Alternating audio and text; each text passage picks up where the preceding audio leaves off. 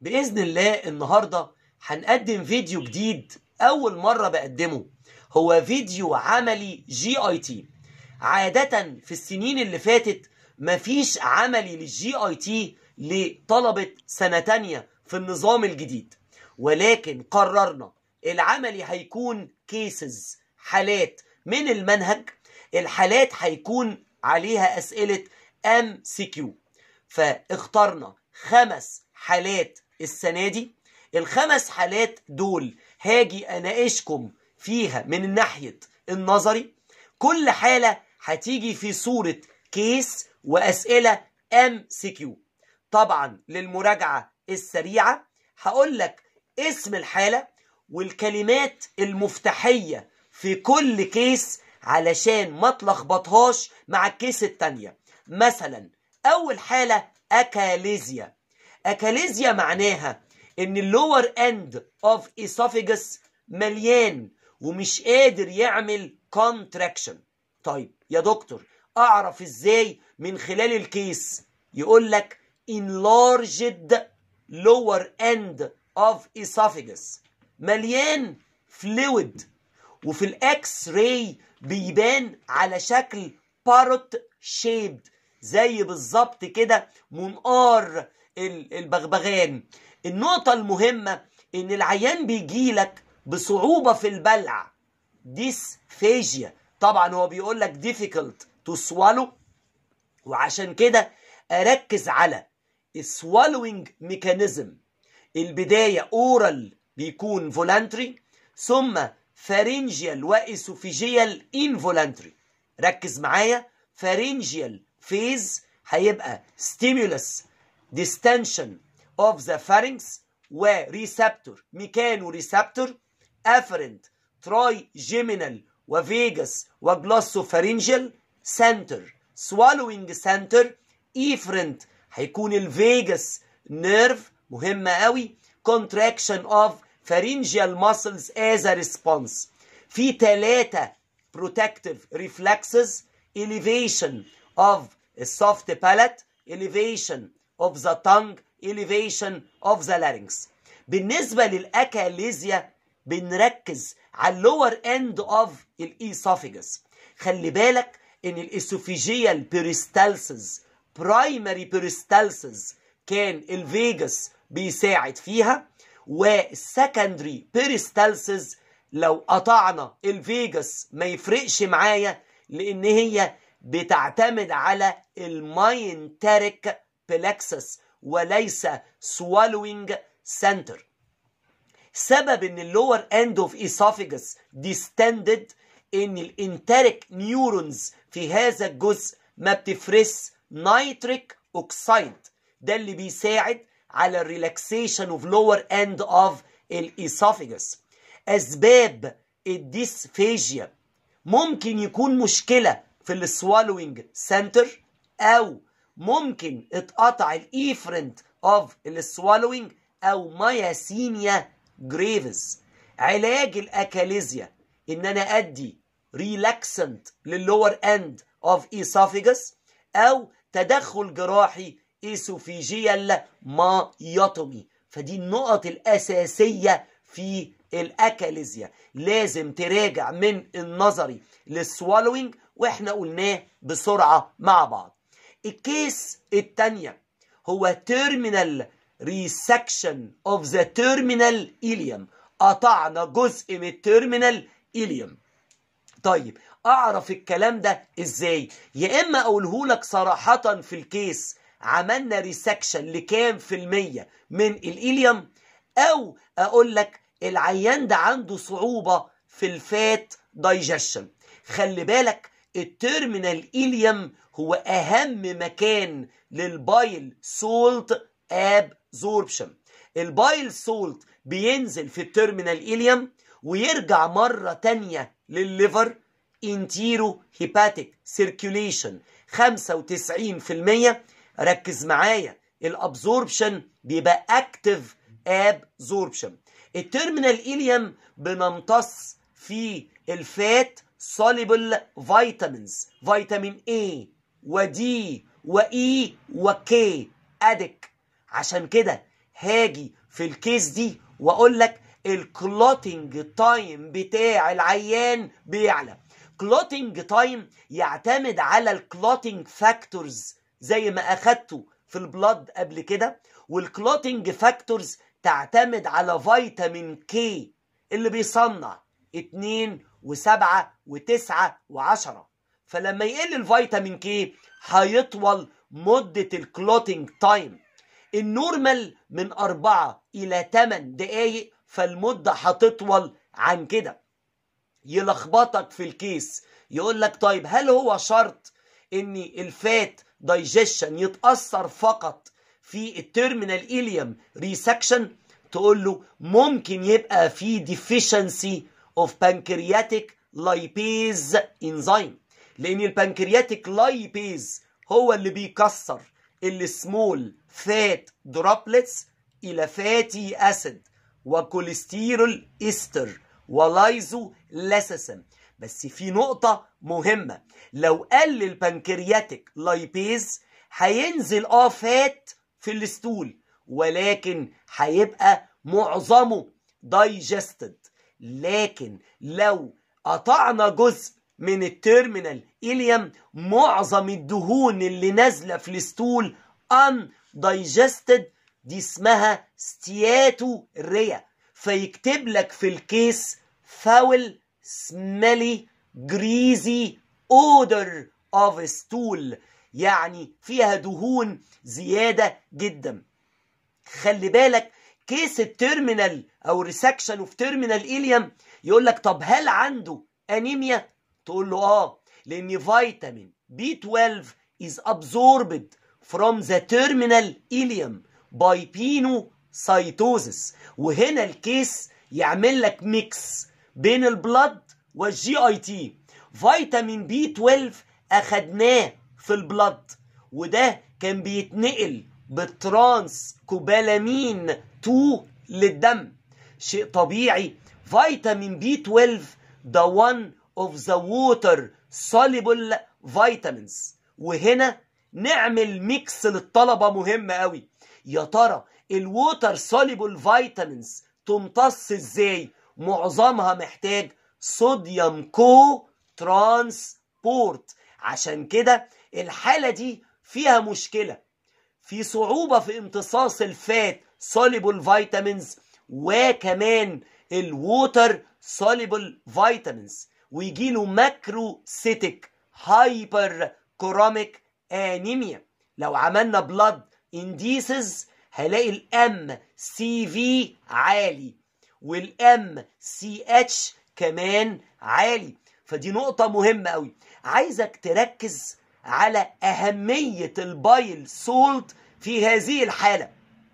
ال bile salt يساعد على ال fat digestion by emulsification ويساعد على ال fat absorption by micelle formation bile salt مهمة إن هي بتدوب الكوليسترول وتمنع ترسيبه في ال gall bladder هي اللي بتمنع ال cholesterol stones أو ال gall stones لأن 80% من حصوات المرارة سببها عدم ذوبان الكوليسترول بسبب نقص ال bile salt الكلام ده في غاية الأهمية. cholesterol is soluble in the acidic medium. طيب الحاجة اللي أنا عايزك تركز عليها إن ال bile salt is choleretic أهم stimulant لل liver cells to secrete bile هو ال bile salt يليه ال secretin وال acetylcholine كلام ده في غاية الخطورة. طيب النقطة المهمة وال case التالتة هو liver cell failure اللي عنده فشل في الكبد كلمات المفتاحية في ال case عنده edema of the lower limb وعنده كمان swelling في الأطراف. طيب edema ليه؟ لأن الألبيومين قل ال liver هو مصنع الألبيومين. اللي في ال blood قلنا ليه osmotic pressure مهم قوي يمنع خروج البلازما الزيادة من ال capillary إلى ال tissue. قوته 25 ملم ميركوري عشان كده اللي عنده liver failure لازم نعلق له البيومين يسألك سؤال تاني يا ترى اللي عنده liver failure عنده انيميا تقول له mild anemia ليه؟ لأن الاريثرو بويتين اللي ذكرناه في ال blood بيتصنع في ال liver بنسبة 10% فقط فما يأثرش لو في liver failure يقول لك في ال case عنده mental confusion. Mental confusion معناه اضطراب مش مدرك غيبوبة صح؟ تقول له أيوه. طب بسبب إيه؟ إن الأمونيا is not detoxified في ال liver. الأمونيا بتعدي ال blood brain barrier وتعمل غيبوبة كبد hepatic encephalopathy خلي بالك إن كمان اللي عنده liver failure عنده مشكلة كبيرة inability to work. وده بسبب إن مفيش جلايكوجين كفاية. دايما في حالة ال liver failure أفكر في ال actions of the liver فايدة ال liver إيه؟ طب أخبار ال bone density كثافة العظم تتأثر؟ طبعا لأن الفيتامين دي كمان مش هيبقى activated فيتامين دي رمزه 125 dihydroxycholecalciferol طيب ال 125 بدايتها 25 OH cholecalciferol في ال liver يبقى activated في ال kidney بإنزيم 1 alpha hydroxylase طالما في liver failure ال active form مش موجود. فيتامين دي مهم للكالسيوم absorption مهم لل bone matrix كثافة العظم فيحصل osteomalacia اللي عنده liver failure عنده سيولة دم bleeding tendency لأن الفيتامين كي خلي بالك ده واحد من ال clotting factors وده مهم جدا. ما بيتصنع في ال liver فاللي عنده فشل كبدي عنده مشكلة كبيرة سيولة دم عالية جدا وال clotting time بتاعه هيطول. طالب الشاطر يلاحظ معايا حاجة دلوقتي. clotting time مدته زادت في حالتين.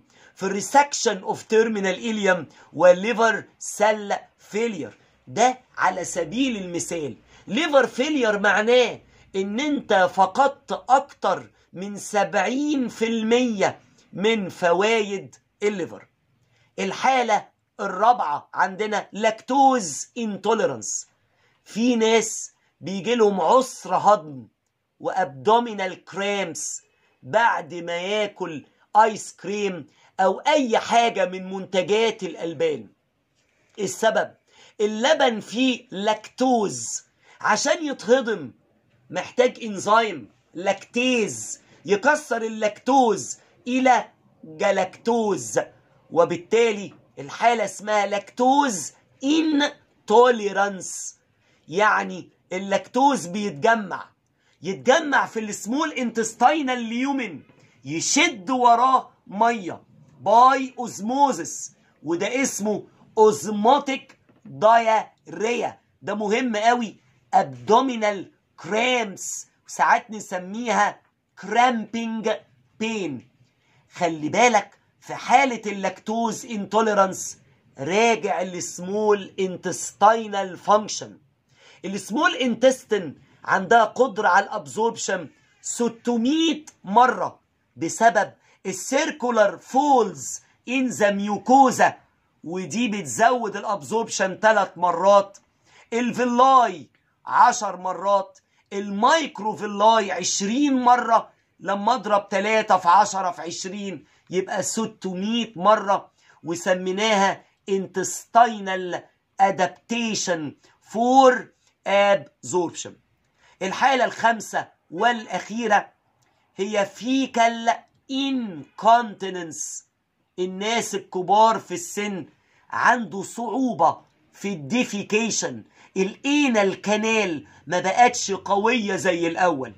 طيب ال fecal incontinence إحنا مش جراحة ولا بطنة. هنسأل physiology ال defecation reflex ال normal إيه اللي بيحصل؟ افتكر ال defecation. ست نقط.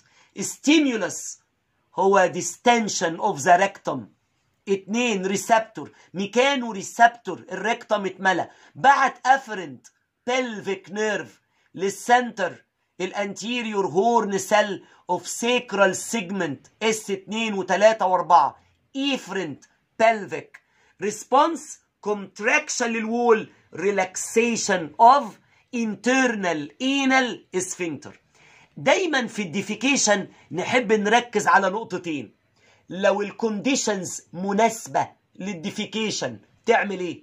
voluntary أنت بتحزق. بتزود ال intra abdominal pressure ولما بتزود ال intra abdominal pressure أنت بتعمل relaxation لل external anal sphincter طب لو ال conditions مش مناسبة قاعد في امتحان أو في محاضرة. ال cortex ال brain يبعت signal مباشرة لل center of defecation reflex ليه؟ عشان يعمل contraction اقفل ال external anal sphincter عايز أقول معلومة مهمة قوي external is voluntary ده تحت سيطرة ال pudendal nerve وده somatic nerve أما ال internal هو involuntary وتحت سيطرة ال autonomic nerve. آه في معلومة بتتقال في بعض الكليات. إمتى يكون عندي ال urge to defecate لما ال rectal pressure يبقى 60 ملم mercury أعتقد دكاترة ال anatomy قد يكونوا قالوها لكم ال defecation حسب التعود بتاعك. يا ترى مرة أو مرتين أو ثلاث مرات في اليوم هل بعد كل أكلة أو لأ؟ عشان كده تعرف ال mass movement وده مهم قوي. في mass movement تحصل بعد فترة من ال breakfast دي اسمها gastrocolic reflex البداية من ال stomach والنهاية في ال colon. الذي يتحكم فيها هرمون شهير هو الجاسترين. الجاسترين بيعمل contraction في ال ascending وال transverse colon وده شيء في منتهى الخطورة. في نهاية هذا الفيديو بفكرك بالخمسة cases اللي إحنا قلناهم. واحد achalasia. اتنين resection of the terminal ileum تلاتة اتكلمنا عن ال liver cell failure أربعة lactose intolerance خمسة defecation reflex